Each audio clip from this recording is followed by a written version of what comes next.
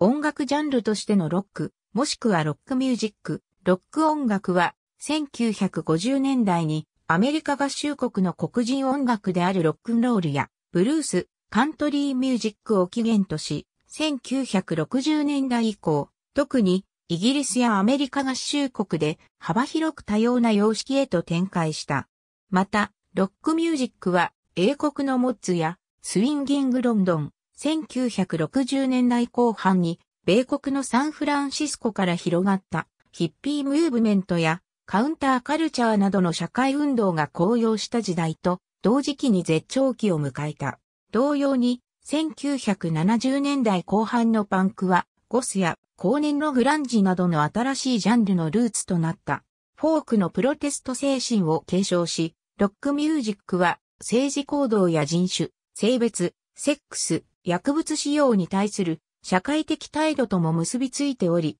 大人を含む主流社会の消費主義とその適応に対する青少年の反乱の表現だとも言われている。1950年代から60年代初頭のラブソング主体のポップスやロックンロールとは異なり、ロックの歌詞はセックス、体制に対する反乱、政治、社会的問題、芸術、哲学など幅広いテーマを扱っている。これらのテーマは、フォークミュージック、ブルース、リズム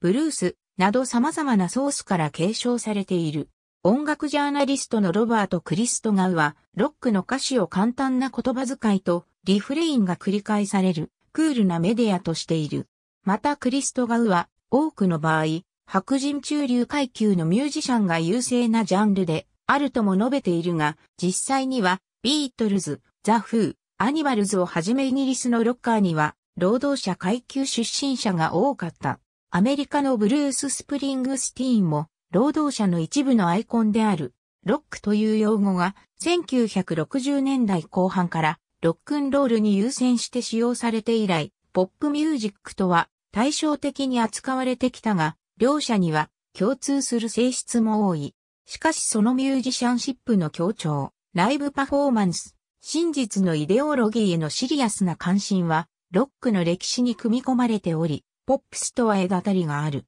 社会音楽学者、サイモン・フリスは、ロックは、どこか、ポップ以上のもの、どこか、ロックンロール以上のものであり、それは、ミュージシャンが、スキルやテクニックに重点を置き、それをロマンチックなアート表現のコンセプトと組み合わせたからだとした。またロックは、ブルースギタリストやエレクトリックギタリストの強い影響を受けて発展してきた。21世紀には、ロックという言葉は、レゲエミュージック、ソウルミュージック、ヒップホップのような表現を含む、包括的用語として使われるケースも見られるようになった。レッドホットチリペッパーズ、リードボーカル、ギター、ベース、ドラムという4人編成ロックバンドの典型的構成である。ロックのサウンドは伝統的にエレクトリックギターが中心となるが、現代的な形態のエレクトリックギターは1950年代にロックンロールの人気とともに登場したものであった。ロックにおけるエレクトリックギターのサウンドは典型的な場合、同時期にジャズにいち早く導入されたエレクトリックベースとドラムとシンバルを組み合わせたドラムセットによるパーカッションによって支えられる。この3つの楽器によるトリオに加えて他の楽器が追加されることも多く、特にピアノ、ハモンドオルガン、シンセサイザーといったキーボード類が加えられることがよくある。ロック音楽を演奏するミュージシャンのグループは、ロックバンド、ロックグループと呼ばれることが多く、典型的には2人から5人のメンバーから構成される。ロックバンドの古典的な形は、ボーカル、リードギター、リズムギター、ベース、ドラムス、また時にはキーボードその他の楽器から一つ以上の役割を引き受けるメンバー4人によって編成される。1956年にハートブレイクホテルがヒット。その後もハウンドドッグ、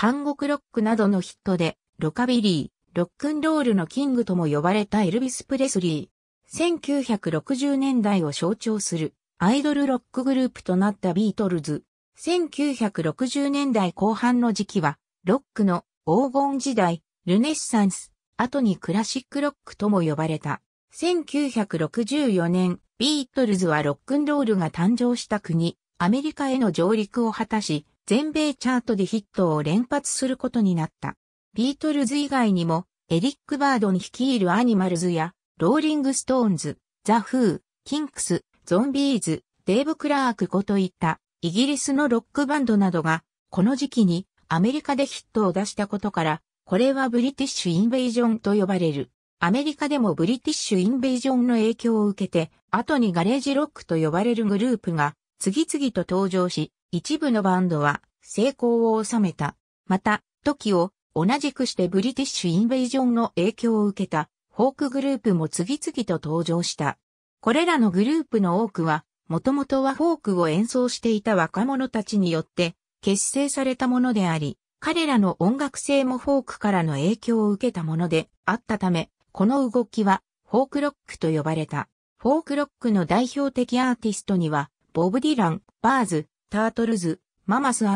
パパス、ボー・ブラメルズ、グラスルーツ、バッファロー・スプリングフィールドなどがいた。また60年代末にはサンタナのラテンロックも登場した。ハードロックの有名バンドとして活動したレッド・ツェッペリン。1960年代末にレッド・ツェッペリン、クリームなどが登場し、ブルースをよりロック的に演奏することに重点を置くようになった。エレクトリックギターのエフェクター類の発展や大音量の出せる PA 等もこれらの新しいサウンドを支えた。そしてビートルズ、ジミ・ヘンドリクス、クリーム、キンクスなどをルーツしたハードロックが登場した。ディープパープル、レッド・ツェッペリンは1970年代前半に商業的成功を収めたハードロックとなった。グランドファンクレイルロード、フリー、ブラックサバス、マウンテン、ユーライア・ヒープらが後に続き、70年代にはその影響を受けたクイーン、キス、エアロスミスがデビューした。70年代前半には派手なメイクの T-Rex、デビッド・ボウイ、ロキシー・ミュージック、モット・ザ・フープルやアリス・クーパーらのグラムロックも人気を博した。1960年代末には実験的サウンドへの志向が強まり、長尺の曲や難解な歌詞、楽器の演奏技術を極限まで極める傾向も出てきた。この傾向はヨーロッパ、特にイギリスにおいて強かった。シンセサイザーやメロトロンなど最新の楽器を使用し、クラシックを背景に高度な技術を駆使したロックはプログレッシブロックと呼ばれた。代表的なバンドにはピンク・フロイド、イエス、キング・クリムゾン、エマーソン・レイクパーマー、ジェネシス、ムーディ・ブルースなどがいた。勝手にしやがれを発表し、ロンドンパンクの中心的存在となったセックスピストルズ・ザ・クラッシュはパンクの代表的バンドの一組だった1970年代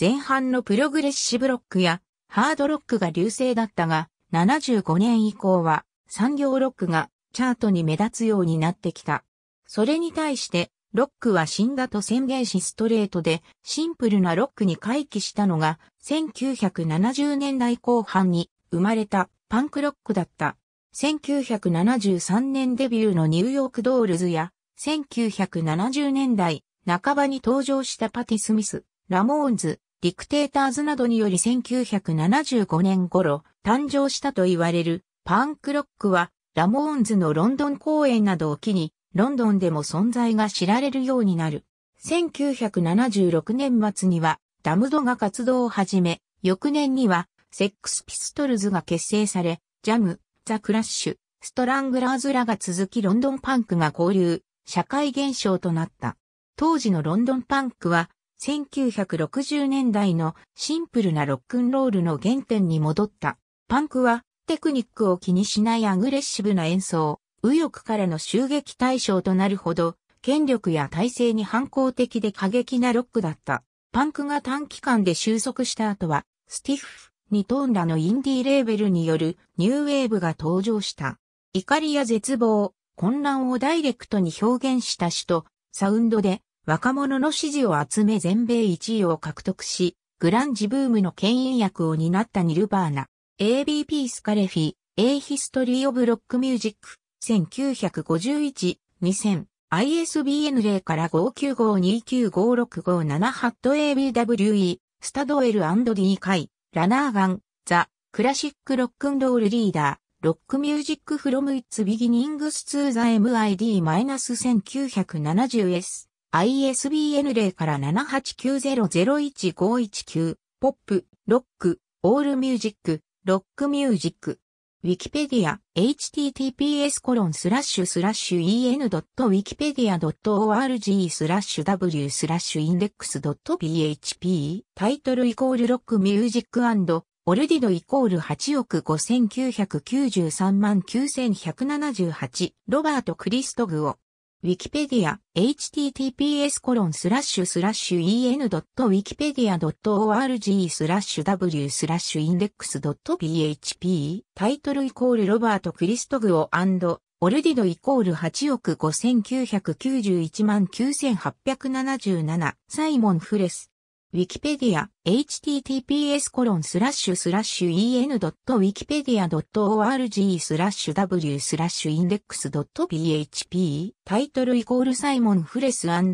ルディドイコール8億1537万8052マイケル・キャンベルジェームズ・ブロディ Rock and Roll An Introduction PP8081 ジェーム・カーティス Rock Eras Interpretations of Music Society、1954から1984、ISBN 0から8797236696、PP68 から73、RC ブルーワー、 Bass Guitar in、J シェパード、 ed、Continuum Encyclopedia、of Popular Music of the World、Volume 2、Performance Production、ISBN 0から8264632223 P56 R マティングリー Drum Set in J シェパード ed Continuum Encyclopedia of Popular Music of the World Volume 2 Performance Production ISBN 0から8264632223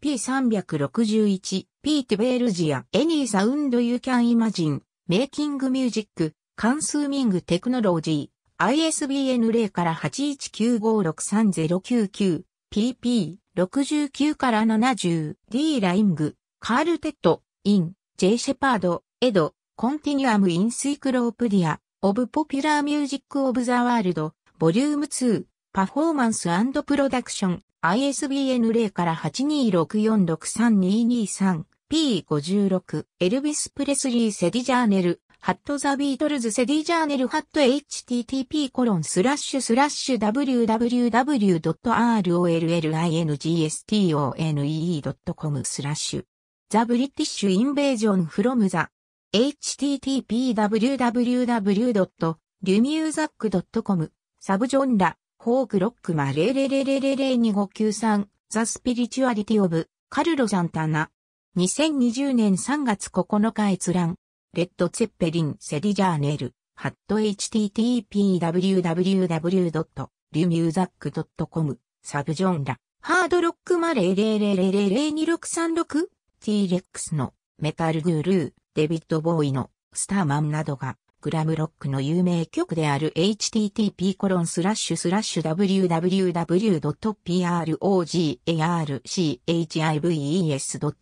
ラッシュ progresssive-rock.asp ハットセックスピストルズセディジャーネルハット http コロンスラッシュスラッシュ www.allmusic.com スラッシュスタイルスラッシュ punk ダッシュ ma0000028006 代表曲はフォトセーブザクイーンアナーキーインザ UK などニルバーナセディジャーネルありがとうございます。